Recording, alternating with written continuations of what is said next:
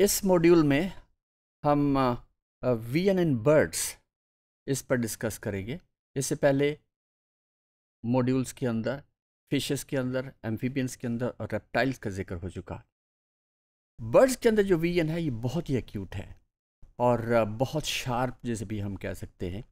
ये जैसे आपकी ऑब्जर्वेशन में होगा कि ये बर्ड्स जो हैं, जो बहुत ही ऊंचाई पर उड़ते हैं और वो बहुत डाइव करते हैं टू कैच द प्रे तो जब तक उनकी वीएन सही नहीं होगी तो वो पिन पॉइंट नहीं कर सकते, वो प्रे को कैच नहीं कर सकते। तो अगरचे इन बर्ड्स के अंदर भी जो स्ट्रक्चर ऑफ़ द आई है, वो तो तकरीबन वैसे ही है, लेकिन इसके बावजूद इसके अंदर कुछ अडेप्टशंस हैं।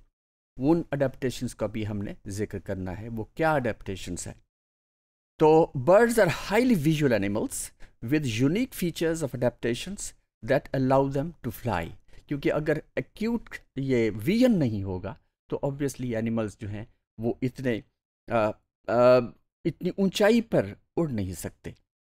तो but they have a number of adaptations which give visual acuity superior to that of other vertebrates इस लिहाज से हम कह सकते हैं कि बर्ड्स के अंदर विजन है वो बहुत एक्यूट है।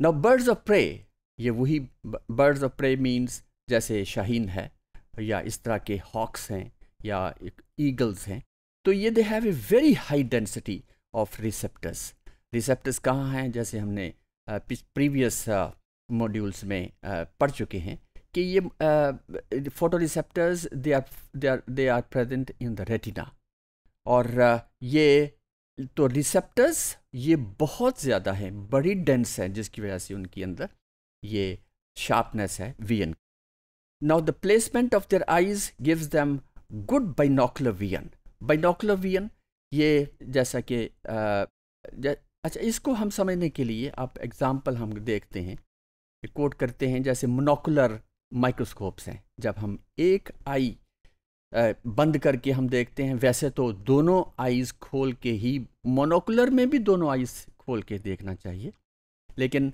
हम सिर्फ़ एक आई इस्तेमाल करते हैं, आइदर राइट और द लेफ़्ट, उसे हम मोनोकुलर माइक्रोस्कोप्स कहते हैं। लेकिन बाइनोकुलर भी हैं, जो कि आजकल बहुत आम है।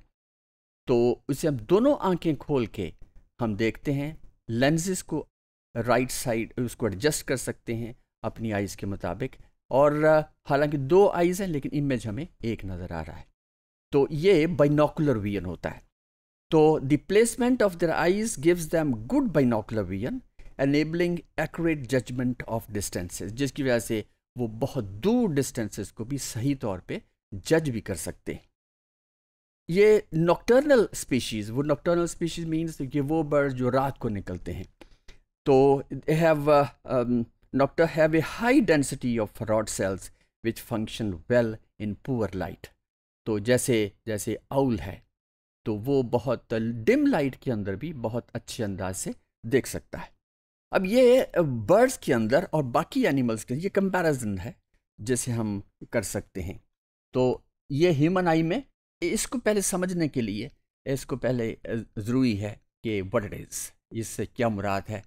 तो ये लेफ़्ट आई है, ये राइट आई है। ये मोनोकुलर वियन है दोनों की, जबकि ये हिस्सा जो है दिस इज़ बाइनोकुलर वियन जैसे हम दोनों आँखें अगर जब देखते हैं तो हमारा जो वियन है, जो फ़ील्ड ऑफ़ वियन है, वो बहुत ब्रॉड होता है। जबकि ये डॉग के अंदर, क्योंकि डॉग के अंदर जो आइज़ हैं they are relatively on the sides तो जिसकी वजह से लेफ़्ट और राइट आई का मोनोकुलर वियन इतनी है, लेकिन बाइनोकुलर वियन वो ह्यूमन से ज़रा कम है। जब हॉर्स के वियन हॉर्स वियन में उसमें आपने देखा है कि हॉर्सेस के अंदर आइज़ जो हैं, वो और लेटरल साइड पे हैं और जिसकी वजह से बाइनोकुलर वियन बहुत कम, उसका एंगल उसका फ़ील्ड जबकि राइट और लेफ़्ट आइज़ से वो काफ़ी हद तक दोनों तरफ़ देख सकता है। जबकि बर्ड वियन, जैसे यहाँ पे इस डायग्राम में नाउ इट इज़ क्लियर कि ये बिल्कुल बैक साइड पे जो कि वाइट है it is there is no vision ये वहाँ पे नज़र नहीं आ रहा। लेकिन इसमें बड़ा इंटरेस्टिंग बात है। इसको हम एक्सप्लेन कर सकते हैं इस लिहाज से by quoting example owl owl की दोनों आँखें बिल्कुल फ्रंट पे हैं। और इसलिए अगर हम आउल को पकड़ना चाहें तो पीछे से बहुत आसानी से उसे पकड़ा जा सकता क्योंकि वो सिर्फ़ फ्रंट पे देख रहा होता है। जबकि इसके मुकाबले में अगर हम पोल्ट्री है, या फिर डव है, या फिर पिजन है, उसको पकड़ना बहुत मुश्किल। है पीछे से, बड़ी आराम से पीछे जा, से नहीं पकड़ा जा सकता, क्योंकि वो साइड से भी काफ़ी हद तक, दोनों साइड पे उसकी वियन है, उसका फ़ील्ड फ़ील्ड ऑफ़ वियन बहुत ही ब्रॉड है।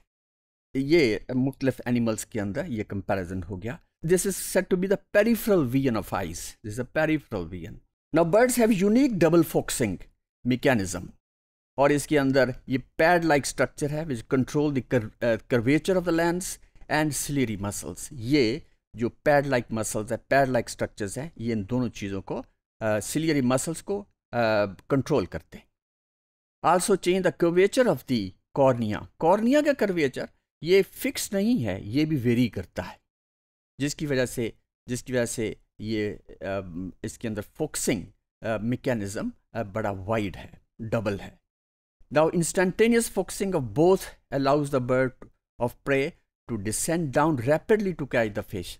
और आपने देखा होगा ख़ास तौर पे वो बर्ड्स जो कि जो कि समंदरी इलाकों में रहते हैं तो वो बहुत ऊंचाई पे उड़ते हैं लेकिन वो फोकस करते हैं फ़िश को और बड़ी तेज़ी से डाइव करते हैं हवा में और वो फ़िश को आके कैच कर लेते हैं तो this is all due to their they are very sharp vision और यहाँ पे बर्ड्स वैसे अगर हम कंपैरिजन करें ह्यूमन का बर्ड्स के साथ तो बर्ड्स ह्यूमन तो एक इसका एक ख़ास स्पेक्ट्रम है जहाँ तक, जैसे हम विजुअल स्पेक्ट्रम कहते हैं।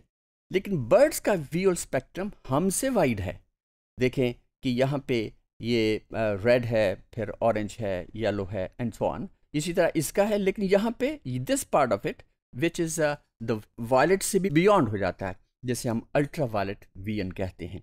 तो बर्ड्स जो हैं, इस लिहाज से भी शार्प है उसके अंदर ये भी अडेप्टेशन है कि वो बेहतर तरीके से यूवी लाइट में भी इजीली देख सकता है।